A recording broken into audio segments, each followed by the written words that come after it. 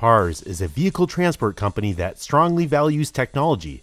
They were the first to offer a fully capable website where customers could get quotes, place orders, and check status. And now they're upping the game even more. So we, have always valued technology and realized the importance of technology. We were one of the first transportation companies to have a, a fully capable site that our customers could use to get quotes, place orders, uh, check on the status of those orders. And we're now at a point where we realize we need to take it to the next level. And so we've kind of adopted this whole theme around extended relationship management. And as part of that, you know, we've still focused on our core building blocks, which is our customer service.